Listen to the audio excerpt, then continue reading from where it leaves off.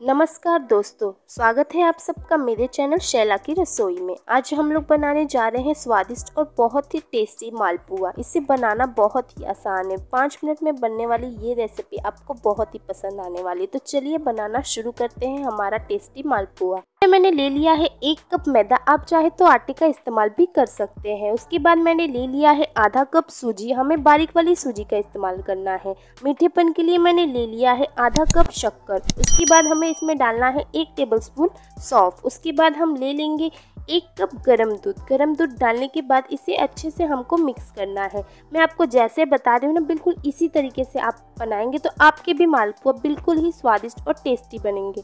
तो आप लोग देख सकते हैं, इसे मैंने लगातार मिला लिया है। मिलाते मिलाते हमारा बैटर कितना अच्छा दिख रहा है। अब एकदम लम्स फ्री बैटर हमारा तैयार है। इसी तरीके से हमारा बैटर रहना चाहिए मालपुआ के लिए। अब हम क्या करेंगे? इसे अच्छे से ढक कर रख देंगे पंद्रह मिनट के लिए, जिससे सूजी अच्छे से फूल जाए। तो पंद्रह मिनट बाद मैं आपको दिखाती हूँ। तो देख सकते हैं कि हमारा जो सूजी है, वो अच्छे तरीके से फूल चुकी है। आप लोग देख सकते हैं।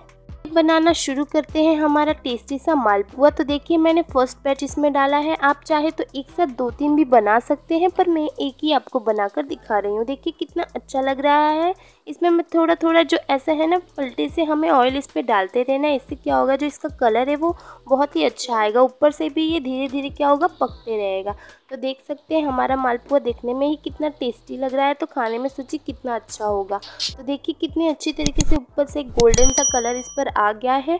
मैं आपको एक और बना के दिखाती हूँ, देख सकते हैं। आप मेरे चैनल पर जाके पापड़ की रेसिपी भी देख सकते हैं। तो देखिए, हमारा सेकेंड मालपुआ जो है, वो भी बनकर एकदम अच्छे से तैयार हो चुका है। तो मैं आपको निकाल के दिखाती हूँ कि देखिए, कितना अच्छा लगता है। बिना चाशनी के हमने कितना टेस्टी सा मालपुआ बनकर तैयार कर लिया है। तो देख सकते हैं, तैयार है हमारे सारे मालपुए। आप भी इसे बना सकते हैं। इसे बनाना बहुत ही आसान है, बहुत ही मज़े आते हैं इसको बनाने में और बहुत ही टेस्टी लगते हैं खाने में। बिना किसी मेहनत, बिना किसी झंझट के बस पाँच मिनट में बनने वाली ये रेसिपी आपको बहुत ही पसंद आने वाली है।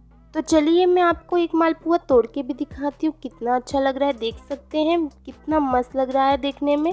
बिल्कुल ही आसान और सरल रेसिपी है। इसे आप पाँच मिनट में बनाकर तैयार कर सकते हैं। अगर आपके घर पे मेहमान आने वाले हैं तो ये रेसिपी आपके लिए बहुत ही इंपॉर्टेंट है। तो आपको अगर मेरी वीडियो पसंद आई हो तो प्लीज़ प्लीज़ प्लीज़ एक लाइक ज़रूर करिए और मेरे चैनल को सब्सक्राइब करें और बने रहें मेरे चैनल पर नए नए और वीडियोज़ देखने के लिए।